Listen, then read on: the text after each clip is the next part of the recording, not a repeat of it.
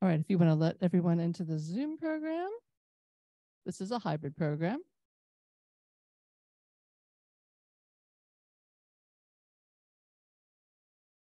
All right, Corinne is letting all of our Zoom participants in.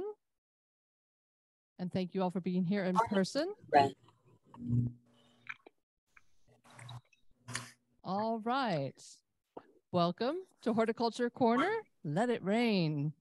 I'm Denise Reagan. I'm the executive director of the Garden Club of Jacksonville, and joining me from our staff is Corinne Lightfoot, who's handling our uh, technical duties right now, our marketing and membership manager. And I believe Morgan, no, there's Morgan. Morgan Pinks is our um, uh, operations manager. God, my brain went totally blank. And then Christy Asuna is uh, our event ambassador who is tending the bar. So if you'd like a drink or a snack or something, please uh, see her.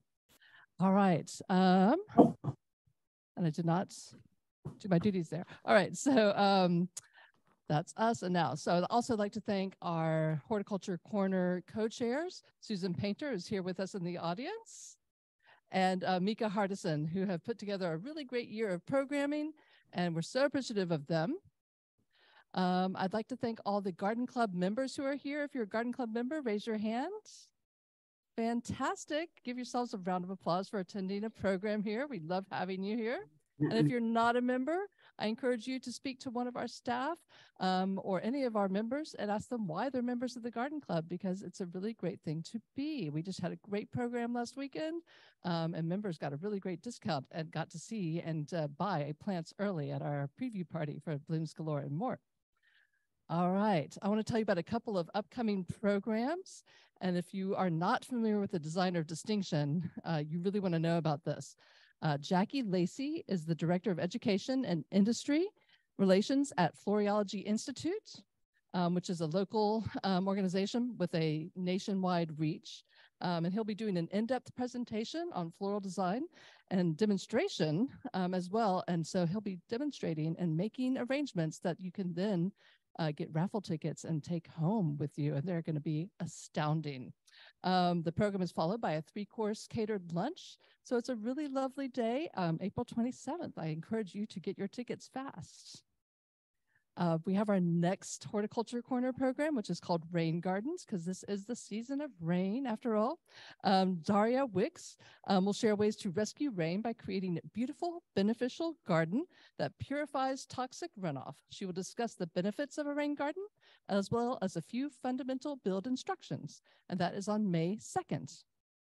And then coming up on May 13th is Riverside Avondale Preservation has a garden tour, and we are a stop on the garden tour. So we'd really love to see you as part of that.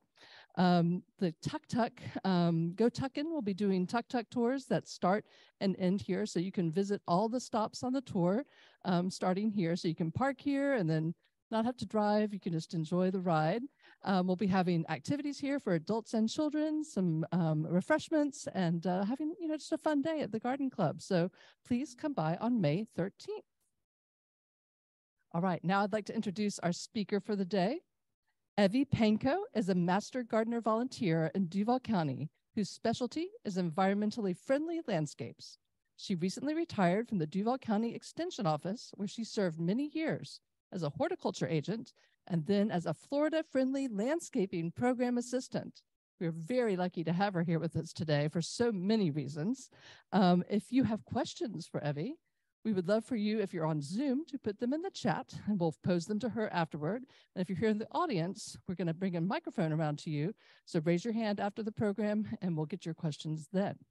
All right, now I'd like you to put your hands together for a great big welcome for Evie Pankok.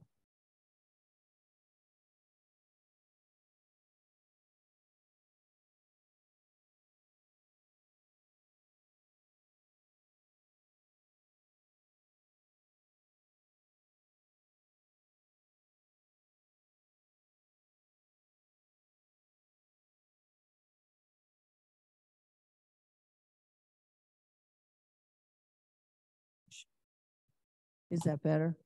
Okay. So I want to introduce you to Nancy Traver. She's going to give us some of the initial beginning about what do we do? Why rain? Why runoff? Why well, anything? Because What is it we have to protect here with all this water? Our environment, what else? The river, the St. John's River. Okay, so Nancy's going to start out with us and then I'll be back and then you can clap again if you like. Okay.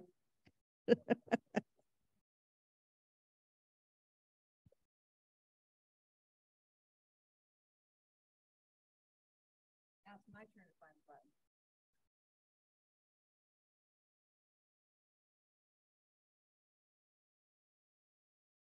Ah, that time it stayed. It kept flicking back off on me.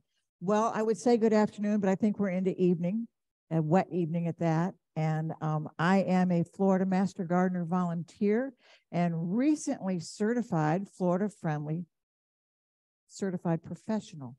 I just finished my course. I got my certificate last night. So that makes it even more official to talk to you about water.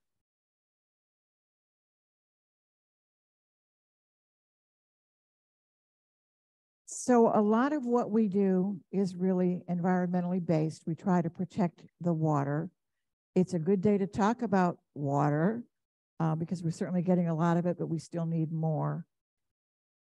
We have nine principles in Florida Friendly, and this falls into the reducing the stormwater runoff as well as protect the waterfront, which is a lot of what I talk about. Um, the mission is, of course, with the Florida Friendly Landscaping. Um, we're trying to emphasize the nine principles. We're trying to protect the water. And I'm going to spend just a minute talking about finding out how many of you know where all this lovely rainwater that's come down into the roads is going. Where is it going? Is it getting filtered? Is it getting cleaned? Is it dirty? Is it what? It's going, it's going to the river. Most of Jacksonville, where the properties are somewhere associated close to the river, the storm drain system gathers the water and shoots it underground straight to the river. So anything that's in that drain is going straight to the river. So the oil from the highway, the grease, the trash that somebody threw out, the kids playing and throwing the balls in there, the lost ducks, they're all going straight to the river. And it's not getting an opportunity to go to our aquifer and get filtered down through the system. I just was recently over on the other side of the river at a community that is built on an old golf course. And they found out that the entire drainage system for the golf course was still there. The houses are built on top of it. They couldn't understand why sometimes they get a little rise in their property or a little sink in their property. And that's because that old system is shifting and adjusting. And they didn't know that everything they were doing in their yard was going straight to the river. So that's what stormwater runoff is. And that's why we talk about it because we want to make sure you know and don't do things like painting your house and deciding that you're going to clean the paint cans out and dump them in the storm drain because they're going to go back to that good old river. All these pollutants go into the water that we drink as it goes on its way to the aquifer. The other really bad part of pollution is that we can't find a single cause. It comes from everywhere. One of the biggest questions lately is who is the biggest producer of water pollution? And everybody thinks, well, it's the factories and the and the utility companies. It's not. They've cleaned up their act. They've cleaned up their act very, very well. It's not the big cities taking the space because, again, they're cleaning up their act. It's agriculture. And what's the number one industry in Florida right now? Agriculture. So the farmers are our biggest pollutants, followed very closely by the homeowners. Because after all, what is your turf yard? It's agriculture. Think about it. When you have all that lovely turf, you've paid probably money to have it put in. You pay somebody to fertilize it. Some of you pay people to mow it, some of you don't. You pay for pesticides to kill the bugs that like to live in it. You pay for stuff to kill the weeds that come up in the spring, and you pay to, kill the weeds that come up at the end of the summer. Boy, they got you guys all hooked into producing the biggest crop in Florida. Is all that turf that we're growing, mowing, cultivating, growing, mowing. What a lot of money. So one of the things that we can do to help, especially in your yard, is to save the rainwater. That's why old Bessie's here. Um, by collecting rainwater, we can use that water to water the plants instead of turning the irrigation system on. Because if you have established your plants well, they don't need water once they're established, especially your trees. When your trees are well rooted into the ground, they don't need supplemental water. They're going to take care of themselves. I live in an HOA subdivision. I have St. Augustine grass. I never turn my irrigation system on. I have trained my grass by starving it of water to push the roots down deeper and get the water that's there. So I'm saving money because I'm not turning the irrigation on, and I'm not wasting money by putting the irrigation on and paying for the water and the sewage rate because even though it's not going down the sewer, you automatically get charged like it's going down the sewer. Well, that's the way that all works. So we're trying to work more on not using the water, collect the water, keep the water clean. H2O is the big thing, sustains us all. We all need water. Do you know how much of the Earth's water is suitable for drinking? Think about it. We got a lot of oceans that we don't drink from. Anybody got an answer? 10%? You think maybe? How about 3%? 3% of all the, drinkable water is what we've got for water. That's not a lot of water. And the other good thing we're growing in, in Florida right now are subdivisions. We're really good at growing subdivisions. So where does the rain go? It goes into the trees. It goes back into the air. Some of it goes down to the ground. A lot of it goes to the river. At Jacksonville Beach, to stop the flooding on Third Third Street, they dug a new system that goes through the dunes. It goes straight from the street out through the dunes and down to the ocean. And if you're ever out there on a really good day and see kids playing those little streams, they're playing in street runoff. I just I cringe because I know what it is and the, the parents don't. But we have evaporation, we have some going down to the filter, we have some going straight to the river. We don't get a whole lot going to the aquifer that way. So we're trying to reduce the runoff. And I understand Daria's coming next month and she's going to teach you a method for that. That's what rain gardens do. It holds it in one spot. Hopefully she's she remembers to sell, tell everybody that it also means less mowing if you have rain gardens because you can't mow over them, just water in them. So we want to capture the rain. The subdivisions that have retention ponds or detention ponds, they have one or the other. Abby's over here poking me. She said, I've, I've used up my time. We're going to collect the rain. I'm, we're into her slides, but anyway, that is where some of that water is going. So we're going to turn it back to you. Yes. You ready to get up? You can turn on your button? I am. Can I, turn did. mine off now? Yes. Frickin' frack. Had a, have a good evening. Be careful. Be care, be careful. I'm the one with the dog leash. You're not. we have to save that water. And if you see this particular slide, we're talking about rain barrels here today. That looks to me like buckets and things like that, right? So I guess we don't collect rain in that, do we? You can collect rain in anything that holds water, anything. So that's what this is telling you right there. It, it holds water, so let's collect it. So Nancy's trying to tell us about the runoff and, and things that are really not good for here. And that's for sure. She did a good job with that. But we can reduce some of that runoff in certain ways. And this, this way is showing you earth shaping. What in the heck do I mean by that? Do you see these terraces here? You see how it's coming from up here down here? So what does that do if you have a terrace in your yard and it's raining? It's slowing it down, right?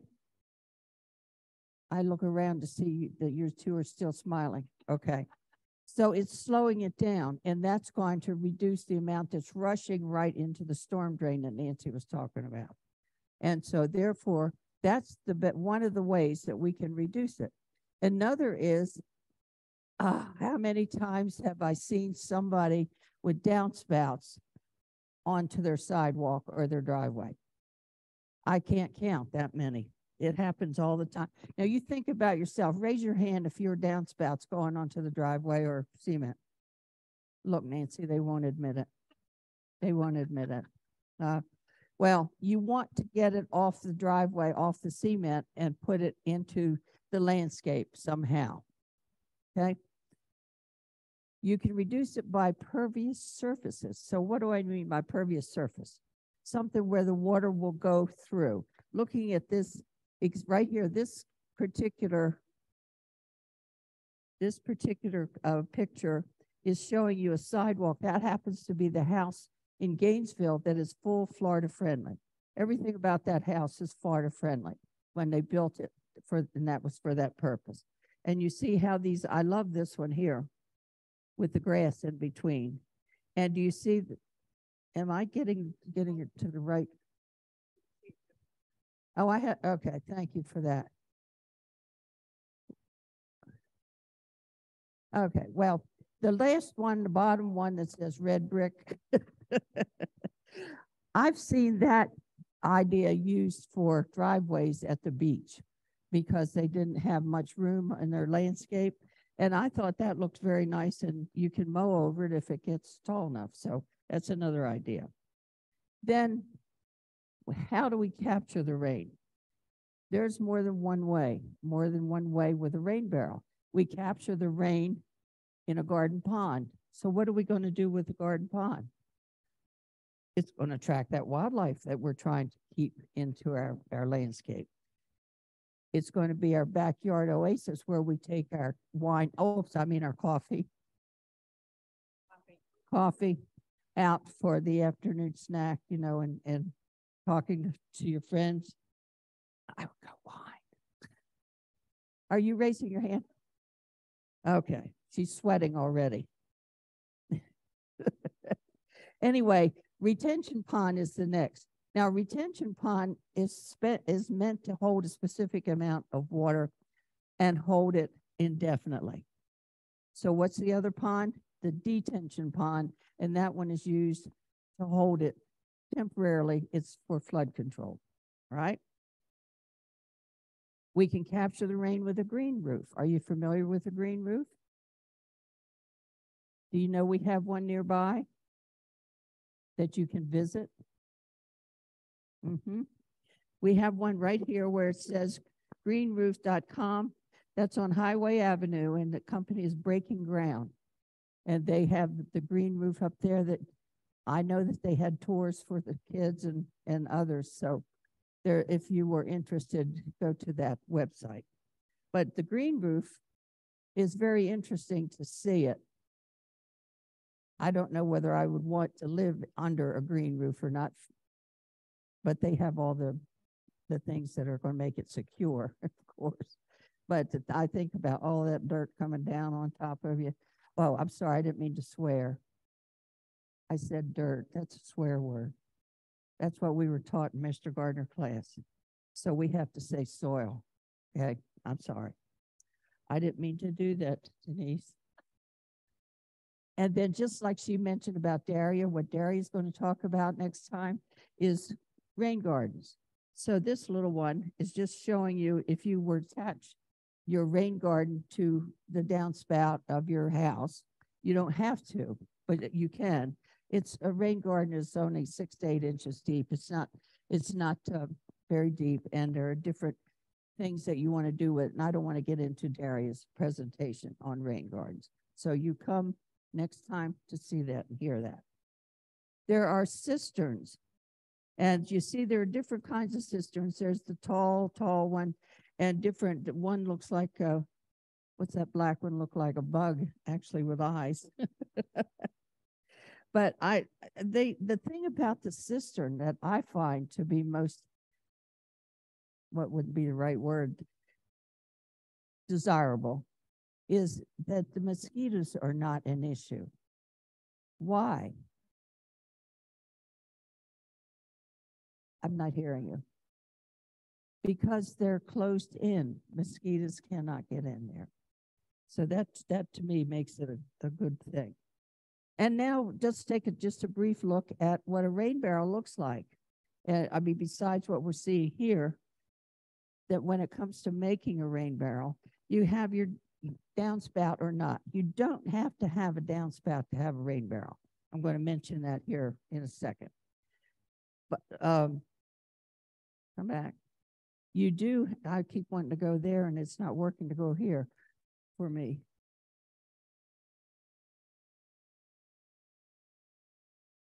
Okay. You see where the blue line is? That says mosquito donut. Now that's a, we call and we have some here.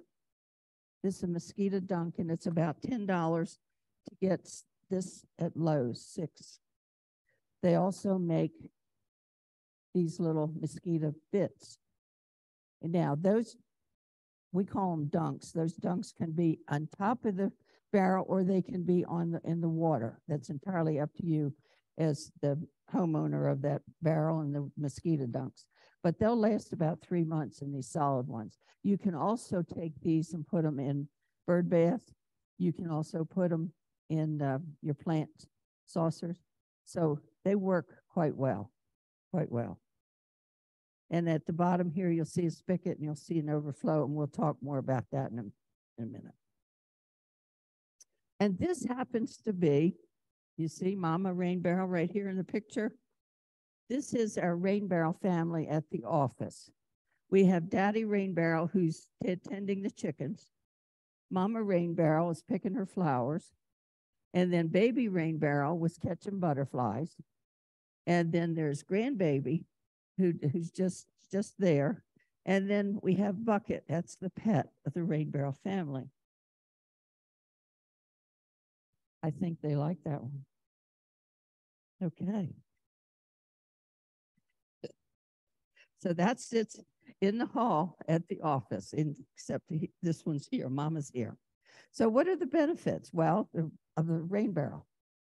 It's a way to collect that rain that we want to keep and reuse. It keeps the water out of those storm and sewer systems, right? That we know is bad. It protects the St. John's and other areas, the retention ponds that we have in the area, any, any of the waterways at all. It controls the moisture around your foundation of your home. That's important too, because you don't want water hanging around your home. And we'll talk about that another second, uh, about, we want ten percent difference from your, your foundation. Uh, it provides oxygenated, unchlorified, unchlorinated water, which is good for the plants. It's direct overflow to where you want it, re- reduces your water bills. Think about it. What are you going to do with the money that you save with those water bills? You girls are going to speak up. Oh, you'll buy some more land. Oh, plants. You'll buy more plants. Okay. Oh, they don't buy the same thing I do. I buy jewelry. anyway, we're going to conserve water in the summer month when the demand is the highest. So I think that we would all agree with those things, don't you? Okay, what does a rain barrel look like? Here's a ready-made barrel. Nothing wrong with that. If you got the money, go out and buy a barrel. This was our very first rain barrel. This is one that I made, and I'm not a painter. So these are decals, and that's my home house number, 6304, but this sits in the office. But I mean, there's things, decorating is the, the brain doesn't care. You can have a plain barrel, a shapely barrel, uh, stacked or colorful. You see, those are purchased barrels. I like these. This one was painted by one of the master gardeners on the left, and Terry, our agent, painted the right one. And we uh, sold that at an auction the first year we we did the barrels. And this one is an oaken barrel. It looks pretty to me. And here's a stand up, which is kind of interesting. This one that lays down is also interesting because it's if you can see it, you can't see it there. And you can't see it in there. But you, in the very back of that barrel at the top, you see that little white dot? That's actually a hose coming out and going up to a downspout. And then down at where the barrel is, is tilted down, the spigot is on the lower level. And it's just a different way to put in a barrel if you were interested. Uh, but you see the back end is hiked up a little bit higher than the front end. Then you can have them connected to be more than one. And then these, this is just decoration, half size and fancy. And then this one looks like a trash can to me, but it's it's actually a rain barrel. You see, is there's no perfect look to it. And now these are the inflatables and they will collapse if there's no water in them. So it's entirely up to what you like to use and have in your garage, I guess. And this one looks like an umbrella and I don't see anything wrong with that. You could party on top of that eh, in the afternoons because you've got your umbrella and you've got your table kind of just need some chairs that'll scoot up to it and your coffee. now these were these uh, are HOA disguises. These were Master Gardener rain barrels that they made and put in, in like the ladybug and the bricks that matches their house. You can see what I'm saying up here. And then this one is actually behind the hedges. This one is turned in the corner.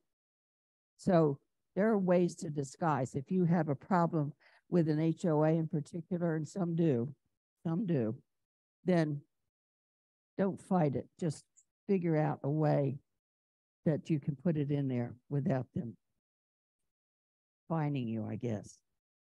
And then here's an upsize. And I just call this a grown up rain barrel. I don't know what else to call it. But it's the, it's another one that's fully enclosed so you don't have the problem.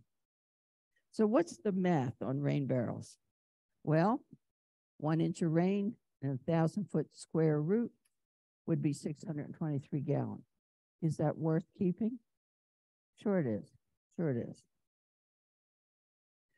This one is what kind of barrel do we use now? I guess any barrel that you find rolling down the street would work. No. No. Why not?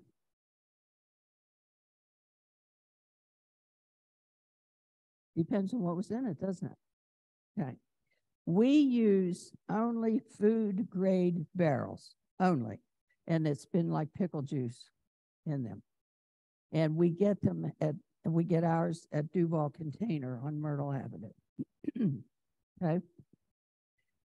These are 55 gallon barrels. Now, we, as you see in our rain barrel family, we had different sizes, but for a class, we we do, been doing 55 gallon like like this. So we use the recycled, food grade only, the paint doesn't matter. The, the rain doesn't care whether it is painted or not. But of course, it makes it much more attractive, doesn't it? Okay. And equipment needed? Well, I don't know.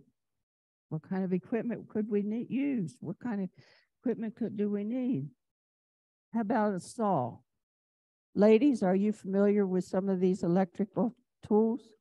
These are just really small hand tools and easy enough to use. All right. What are we using the saw for? In the top. See, there's a hole in the top for, for this. So you have to have a saw for hole. Now, and when we get to another slide, I'll show you another one where we use the drill to drill their holes, which is different, okay? So you have a drill, and you have your saw. Those are that's equipment that's needed. So let's go a little farther. Uh, the screen and the cover. If you have a hole in the top, it, this is a what we call a closed top, totally closed top. You make sense to you? We can turn this over if we have to for you to see. But if it's a closed top, then there's room enough to make a hole and use a colander for the rain to go through. Okay, then you can take it out for spaghetti at supper time. Right? If we have an open top, which is the black barrel, and you see this red one here with the screw lid, that is open top. So with an open top, you're going to unscrew the lid and the ring, and you're going to put something like this on it. Now, there's a little bit more to this if you just hang on.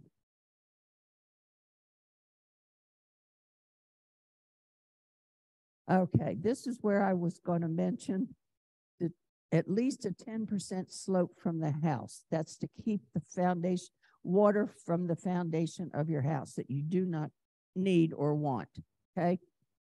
You want to always put your rain barrel somewhere near where you're going to use it. I mean, doesn't that make sense? It does to me because otherwise I wouldn't be using some of the things I do if they weren't convenient. Okay? Now, they can be attached to gutters or not attached to gutters because with something like this, you can do one of these. I mean, you, these are things that you can attach to your gutter. This would be your gutter. And you can attach one of these to it. One of these will, will fit and bend it to suit where it will go in here or it will go in here. Am I making sense? Okay. All right, this one is for the down for the side. Now, here's another thing safety wise. When it comes to the rain barrel, gravity feed two blocks high will give you two gallon per minute but you want to tie it down. Can you see the one with the house? You see how he's, uh, what's that um, plumber's tape where it's attached to the house? Why in the heck, who cares? It's a rain barrel. Why does somebody care? Exactly, exactly. It could get turned over and could be very dangerous. So it needs to be tied down and it, it depends on the placement. Now, here are some of the bases, and the bases that you make need to be very sturdy. They don't have to be that high. They just, however high you have them, they need to be sturdy. Now, you see that one the, on the left has the four little knobs for it to sit on. The, the one on the right is your bricks, your cinder block but that cinder block is big enough that it covers the whole base so that there's not a chance of it to wobble or to go over. Is everybody still awake? Okay.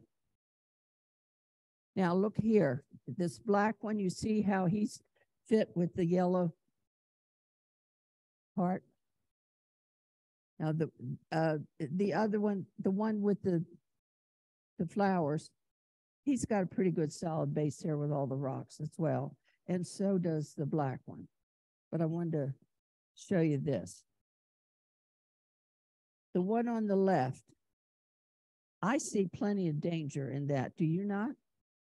Because the cinder block is only one cinder block or two cinder blocks most under that rain barrel that is, it looks like five high.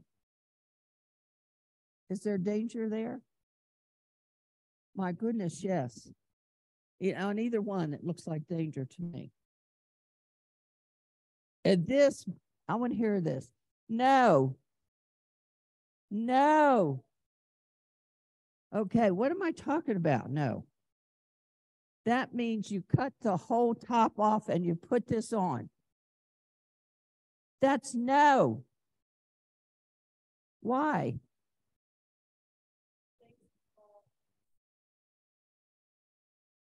Things, things, things, things like two legged kids and four legged pets. Virginia, um, Victoria had the uh, Victoria Freeman, she, she had the, what is it she had over here, the house, the rental. Gosh, I can't think of it. Anyway, she had one of these on the side of this house where you go to stay for the night. B and B, yes, that's it. And she, she heard screaming and crying one night in the rain barrel. It was a raccoon. Was that could have been a child very easily because you see the weight of that child or that animal on this is not strong enough. So therefore, when we do the, the black ones, or we do the ones with the ring off the top, that didn't have, that was a solid like this. And so this was been better. But we found that it's safer. We want to be safe at the same time. Okay, questions there at all? Now, this is what the top of your open one looks like. You see, you have the flat cover and then you have the ring. Well, what we do with the flat cover is that we put holes in that cover so we make our own area for the rain to go down in.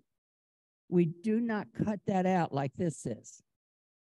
Am I making that clear? Because that's that's really serious with us. Okay, long as you got that down. You can use the screen there as long as you've got the little holes. The, the holes are about this big and you can put six or eight or 10, whatever suits, suits you so that the rain goes into it. Now, here's another one. This is, think about where you're going to place that rain barrel. Hmm, what's the difference? Maxine was working in our office. She was one of the agents. And she didn't live in Jacksonville. She was one of the other towns. These are the police photos of somebody's on her rain barrel trying to get in her house. That's exactly what they are. So you want to think about security as well. So the connection, how do we connect them? Well, if you hook them to a downspout, you see, here you go, very simple. You can hook them to a downspout with these items. You put in the screen, the hose attachment. This is, we use the brass. We don't use the plastic, we use the brass because the plastic can rot away on you eventually. And we also use the overflow for at the top. And so therefore, that takes care of what we have to put in. And we have the, the uh, sizes with this to, to make those holes, okay? And we also have the directions. And if you're good, I might give you a copy. All right. Denise said I could. I asked her ahead of time. Yeah. And so getting the water out, that was a question somebody asked me one time. See, we've done at least 100 barrels a year, maybe three times a year, we'd do a program and a workshop. And so you get some crazy questions. And if there's a chance, and Denise was, will let you know if you want a, a workshop or something, we can work it out. But elevation, how do we get the water out? I don't know how you would get the water out. You turn the spigot on. But that's what somebody said to me. How do I get the water out? Anyway, turn the spigot on and, and make your back hurt, I guess. but remember, it's gravity feeds, so the higher up it is, the faster it's going to come out. Here is a pay attention. It's they're saying that there are risks to using water from the rain barrels to irrigate edibles. So that's your vegetable garden, right?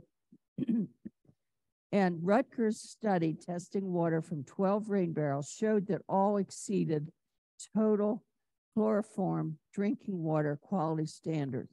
That meant there was three there was E. coli in nine percent of the barrels. So you want to be very careful with your edibles and that. And then if you want, if you're not patient to let the water out, here you can get a solar pump uh, for hundred fifty dollars. And it pumps up to hundred gallons of water on a fully charged battery. So there, that's up to you. And then the neighbors can borrow, if, if Denise, if somebody gets one, maybe you can borrow it. How's that sound? So the other is linking the kits. Uh, look at that little blue one at the top. You see where that cord is going in the back. That's the same idea as, as the other picture that I was talking about. You can see it a little bit better here. But the linking kits so that you can have more than one, you can buy them separately if you choose. Uh, what's the biggest concern? I didn't hear you. You're, oh, that's the biggest problem is overflow. The biggest problem is, is Marvin. Marvin the mosquito. So what do we do with him? Well, this is where the bits come in and the dunks come in. And we've had people use salad oil with the water. It's just got to think about the birds because if they get the oil on their wings, then that's going to not make them happy or for them to fly.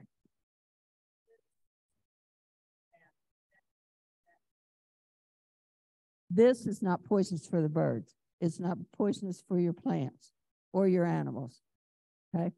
And it'll tell you all that on the back here.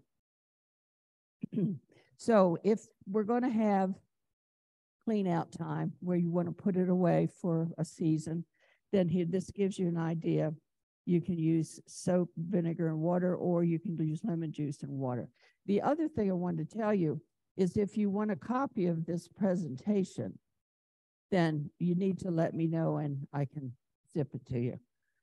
Um, storm warnings, that would be our hurricanes.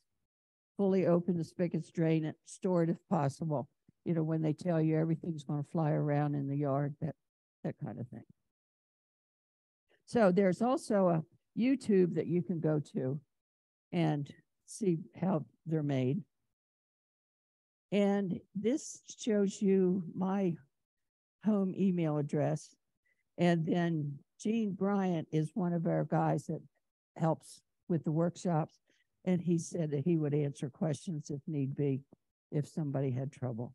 So uh, anything that uh, we can do, we certainly will be happy to to make it pleasant for you, especially with the, you know, everybody should have rain barrels. If there's somewhere in your yard, you should have it, whether it's attached to your downspout or in the in the middle of the garden. Okay. Do we have questions? Do So, uh, let me end the slide so we can go to you full screen and we'll take some questions from the audience. Let me just escape here. Stop share. All right. So if you have questions for Evie, please raise your hand. I've got one over here from Susan. And then uh, Corinne, if you see any, please uh, gather those on Zoom. Here you go, Susan.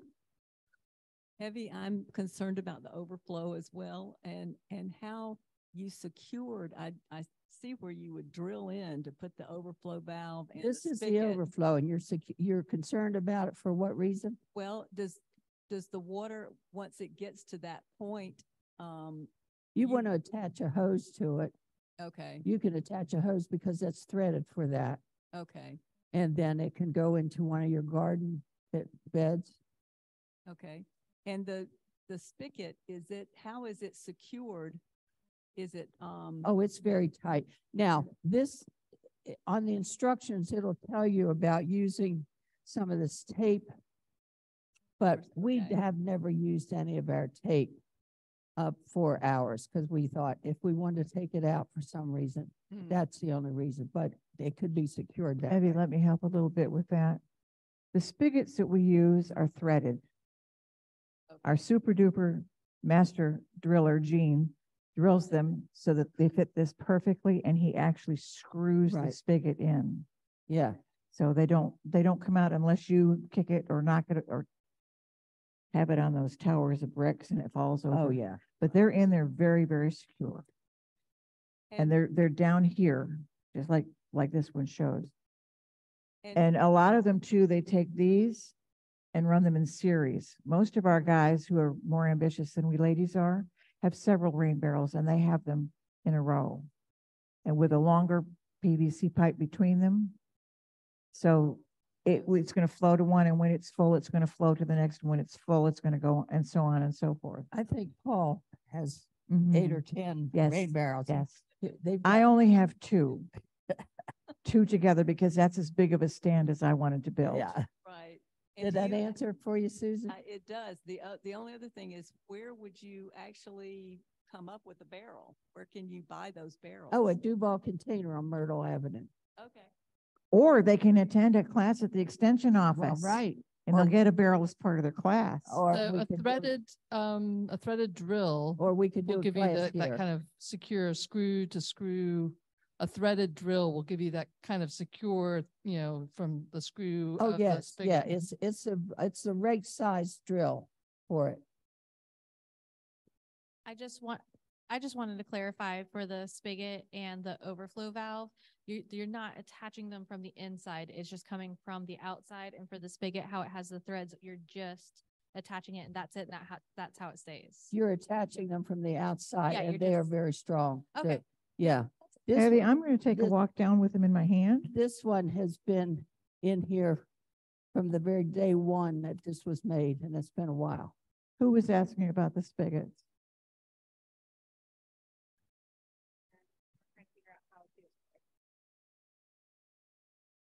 I have a barrel at home and we were trying to figure out how to attach it and we didn't realize that you just attach it from the outside. Okay, well, and, and see, Yeah. the instructions will tell you the Okay. size. You need, um, a three-quarter inch spigot with male threads, and you're using a 15, 16 inch drill bit. So, I mean, that's, the instructions will have those things that fit, because that's, we buy only what it says on here. Okay? All right, we have another question over here.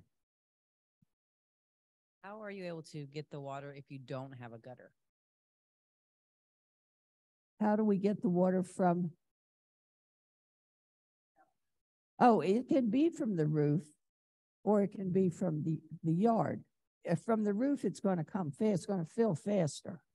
But now from the roof, you're going to have maybe some debris if it's attached to one of your downspouts. Yeah, I don't have a So if you don't have the- gutters the- and you have a place where the roof comes together, yeah. everybody has at least one waterfall. I do. Oh, I do. Where the roof comes together and there's no gutter. Yeah. There's your spot.